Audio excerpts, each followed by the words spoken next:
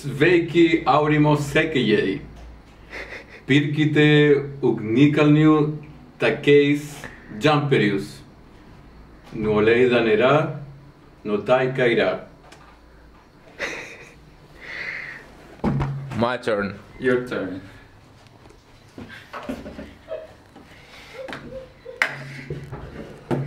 Hola. Hola a todos. Hola a todos. Compra este espectacular polerón. No tiene descanto. Por se siente super suavecito. Muchas gracias, amigos. Žodžiu, padarėm su Filipe commercial, Yes. some commercial videos. Aš kalbu truputį lietuviškai, bet aš nežinau those words. Yeah. So, Yeah. right now we know.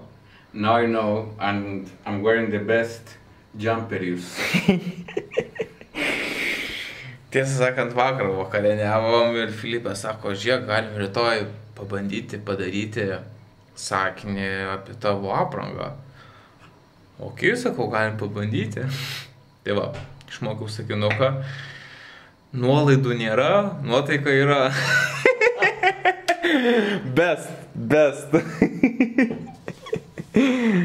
Good. Pe- Penkias procentai. Ne, ne, ne. Nueira, nueira, Nuolaidų. nori. Yeah. No discount. No discount. Yeah. That's the funnest part. Para con... Por... How long did you rent it for?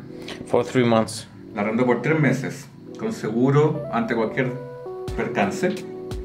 Y la semana pasada tuvo uno mientras estaba en el norte, cerca de Antofagasta. Lo recogieron de la autopista, lo llevaron al, al Eurocar de Antofagasta. Y en resumen, le dieron una Hilux.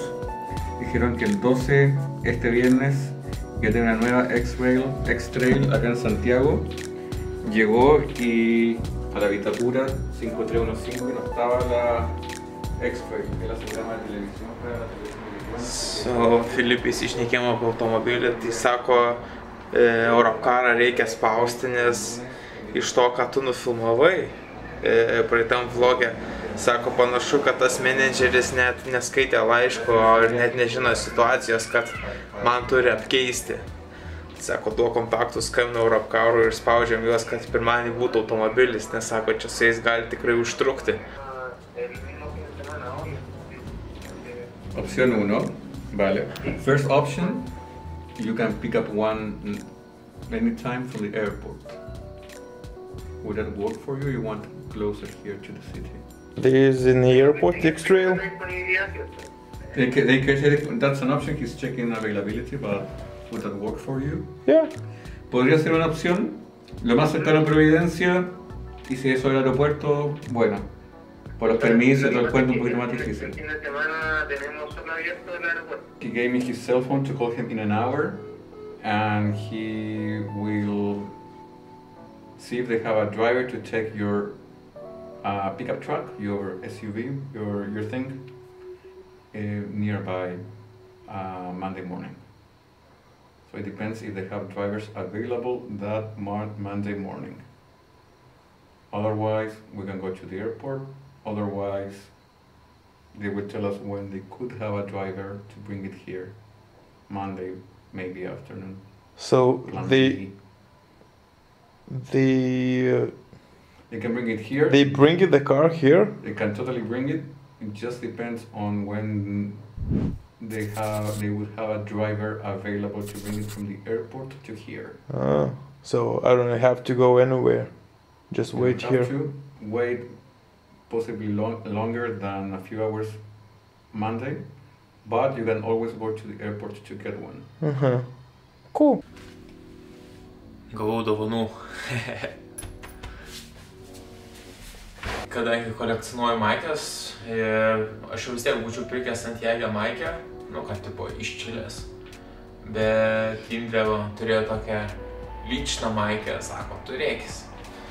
Iš Velykų salos man turbūt nepavyks su laiku ir gal net ir su COVID, nes gan griežtai dabar apskritai į Santiago yra uždrausti skrydžiai iš ir į. Kol kas tikės LT man netrašo dėl bilietų, tai kol kas bilietai lieka nežinomybė iš tiesų. E, kitas dalykas, kaip ir vakar pažadėjau jums, tai kiek, kiek e, pavyko mums surinkti biudžeto ir apskritai apie pinigus, apie kilometrus, kiek e, dabar po dviejų mėnesių, lygiai du mėnesiai, šiandien 17 diena, uhu, tai du mėnesiai čiliai.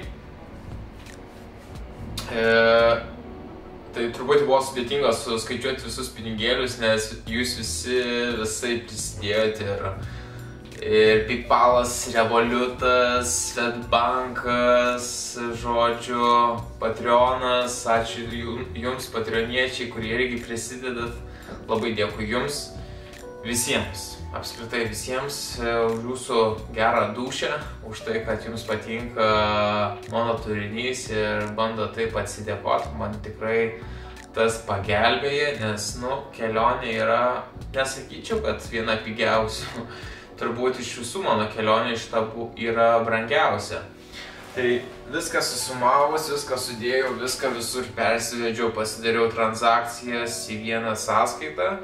Tai bendroji sumoji per du mėnesius jūs man prisidėjote 6536 eurais tikiuosi fokusavo į ne, tai 6536, tai labai ačiū Jums. O išleidau kelionės metu, e, nu kaip čia pasakius, nei daug, nei mažai, įvertinus, kad tai vis tiek yra Čilė, e, du mėnesiai, sakyčiau, labai intensyvaus keliavimo, tai aš išleidau e, apie 4,5 tūkstančio eurų. Jo, nu tai truputį daugiau nei 2000 eurų mėnesiui ir per tuos du mėnesius aš nukeliavau su abiem transporto priemonėm, tiek su Nissan X-Trailu ir sudėjus Toyota Hiluxą, bendroji sumoje aš nukeliavau kol kas 11,5 tūkstančio kilometrų. Tai nėra tikrai mažai. E, kūro tai pyliau labai daug, ta prasme tiek Nissan X-Trailas, tiek tiek Hiluxas ryja kūro, tai labai daug suėjo. Pagrindinis biudžetas tai buvo būtent ant kūro. Čia tas, kiek išleidau, tai čia neskaičiuoju automobilio nuomos. Automobilio nuoma 3 mėnesiams su pilnu draudimu 4000 eurų. Aš jau skaičiuoju po tos dienos, kai atskridau, kai jau pagrindė viskas kaip ir jau buvo gatava Tai jo, tai va tie 4,5 tūkstančio eurų, tai kuras, maistas, e, gidai, lankytinos vietos, e, įrangos nuoma, tokie dalykai. Aišku, gal turbūt šitoj kelionė truputį savo daugiau leidau ant maisto, ta prasme daugiau yra gavau vietinio maisto, iš kavinių kažkokių, restoranėlių, tai sakykime, jeigu būčiau vien valgęs e, savo maistą, ką gaminuosi, tai nu, kokį turbūt 1000 eurų gal būtų galima ir sutaupyti. Tai sakykime, tie 4,5 tūkstančio gal virstų 3,5 tūkstančio, e, bet bet kokiu atveju kuras automobiliui tai didžiausias, didžiausias biudžetas, daugiausiai išlaidų prašė to kelioniai. Iš kitos pusės, jeigu taip imtum kažkokį kelialapį, kelialapį į Čilę, tai už 4,5 tūkstančio, nežinau, turbūt kokias dvi geras savaitės pabūtum, kokiam liukse, kurorte, nežinau, net sunku įsivaizduoti. Arba dviem žmonėm, arba kokiai dešimčiai dienų pabūtum. Nu ir viskas turbūt. Tai O aš jau čia nuės 60 dienų ir vos ne visą šalį pravažiavęs ir sakyčiau tikrai nemažai pamatęs. Tai nu, čia tokie pamastymai. Tai iš šitos sumos dar liko mėnesis kelionės, žiūrėsim kiek finalė bus ir tada e, dalį pinigų iš tos kelionės skirsiu gyvūnų globos namams, kaip ir minėjau. tai reikės po kelionės pasieškoti tokių smulkesnių gyvūnų globos namų, nenoriu tiems pagrindiniams duoti pinigų ar kažkaip, o geriau susiras smulkesnių organizacijų ir tiesiog nupirkti to, ko jiems reikia, ar tai maisto, ar tai pašaro, ar tai gardų, ar tai šieno, sunku pasakyti, bet ko reikės, pabandysiu su jais sukomunikuoti ir tada suderinti tai. Tai bet kokiu atveju labai labai dėkingas jums, kad prisidedat prie mano kelionių, kad prisidedat prie mano svajonių. Ir dar mėnesiukas čiliai.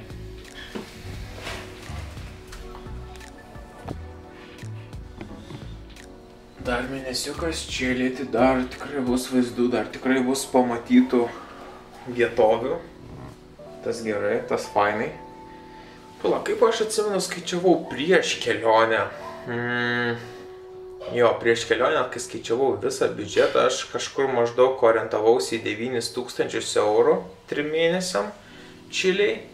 Tai sakykime, prieš tos sumos 4,5 pridėkime automobilio nuomą, pridėkime karantinavimuose tą būstą, kur pas moteriškę nuomavausi.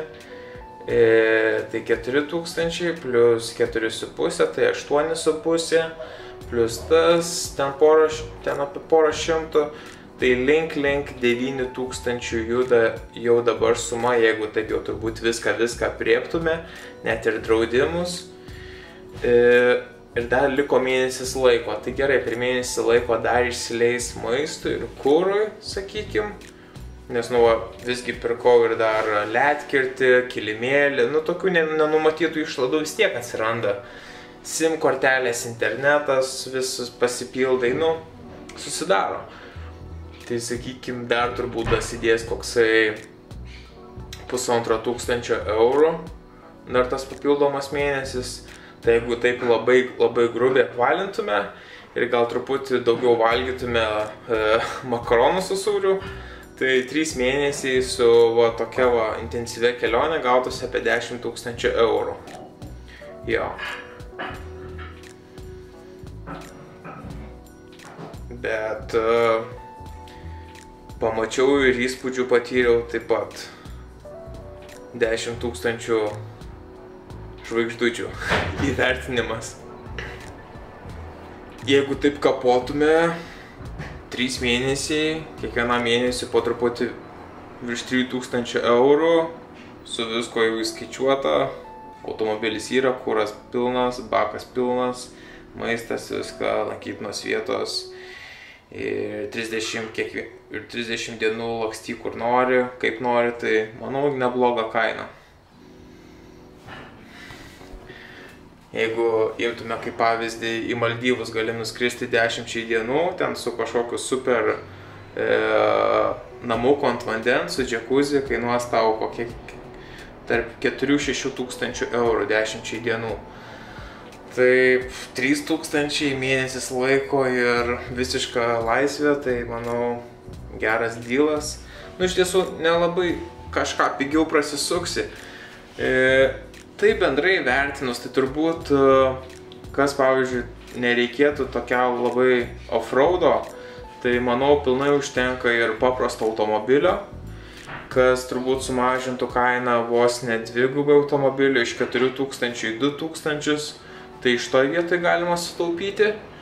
Nes daug kur iš tiesų keliai visai privažiuojami, pagrindiniai keliai iš viso labai geri, tokio, kad off-roado 4x4 reikėtų tikrai labai mažai. Tai čia tokiam pamastymui, tai automatiškai lengvesnė mašina, e, mažiau kūro gal ryja, tai ant to dar truputį susitaupo, ant kūro susitaupo. Nu tai jeigu taip truputį dar biudžetiškiau, paprasčiau, tai galima turbūt nuo šitos visos kelionės būtų, čia aš taip paskui, jeigu kažkoks kitas asmo keliautų, galima dar numesti taip kokius 3000 eurų. Tai vietoj 10 tūkstančių, 3 mėnesių kelionė jums gal kainuotų 7 tūkstančius. Bet įvertinkite ir tai, kad aš beveik visas naktis miegu palapiniai. Va vieną kitą kempingėlį buvau pasiemęs, bet tai bendroji sumoji jokių viešbučių. Tai tas labai aišku irgi padeda sutaupyti pinigų.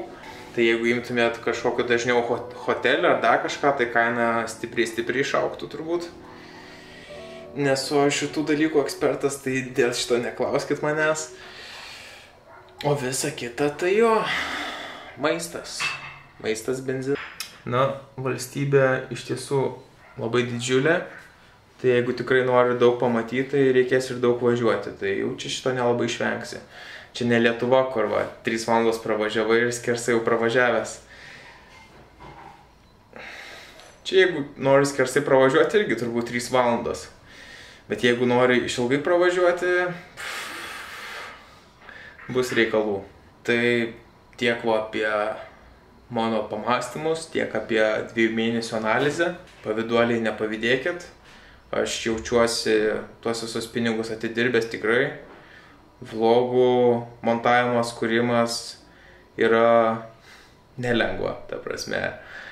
Man tai yra hobis, malonumas, bet turbūt kitam žmogui duočiau kamerą į rankas, tai tą dieną turbūt viskas ir pasibaigtų. Tai čia aš kaip sakau, e, žmonės moka už televiziją, tai kad matytų jie vaizdą, kažkokį žinias, dar kažką. O čia žmonės tiesiog irgi prisideda iš geros dušios už tai, kad ką aš kuriu, kokie turinį mato. Tai dar didelis kartas, dar didelis ačiū Jums.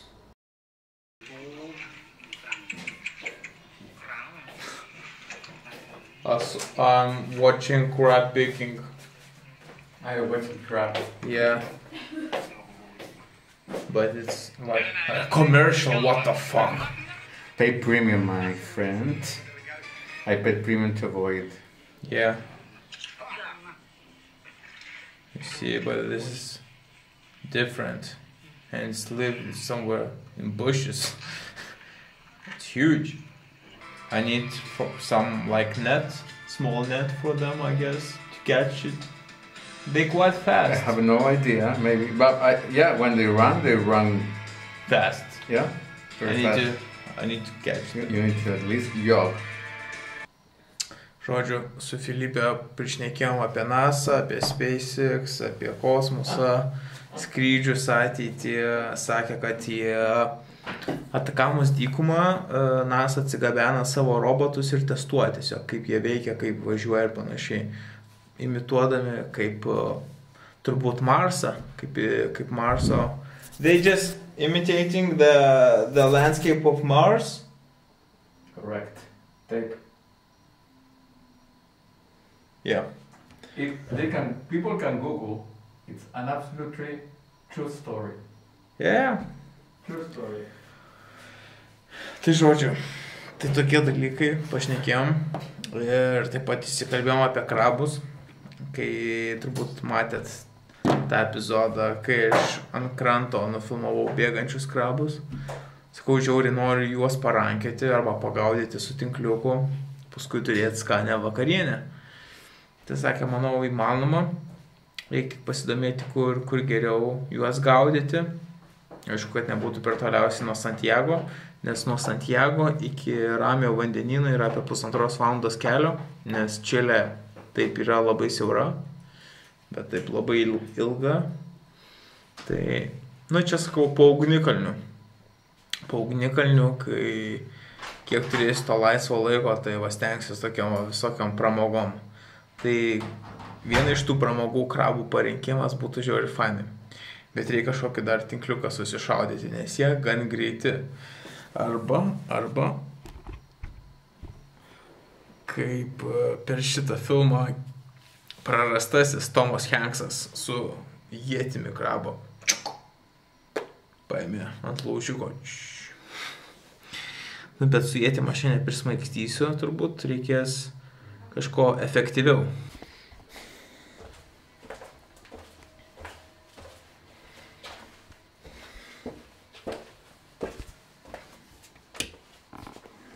Nu, va, išplovė man rūbus, nebesmirdės, švarus bus, pats irgi švarus. Tai ką, dar viena viešnagės diena praėjo pas Indrį ir Filipą, Emilsėtis. Rytoj sekmanis, dar vis jokio judesio, dar karantinas tęsiasi. Pirmadienį jau vėl, kaip ir gyvybė grįžta į Santiago ir vėl gali daryti, ką nori, beveik. Paskui vėl savaitgalis, vėl viskas izoliuota. Savaitgalis, kaip ir sakiau, griežčiausi karantinai, daugiausiai pribojimų. Ir dabar taip dar dašuto dėl tų krabų, kad galiu užsukti į žvėjų parduotuvę pirmadienį ir paieškoti nusipirkti būčiaus. Tada nuvažiuočiau prie vandenyno, surasčiau kokią ramesnę įlankėlę, kur nestipriai banguoja arba gal net nėra bangų. Ir kažkiek pabristi ir numest būčių su kokią papuvusią žuvim. Ir turėtų jaučiu įlysti krabų. Aš taip įsivaizduoju. Matysim. Krabų užvaldė mano mintis. Gerai. Čiau.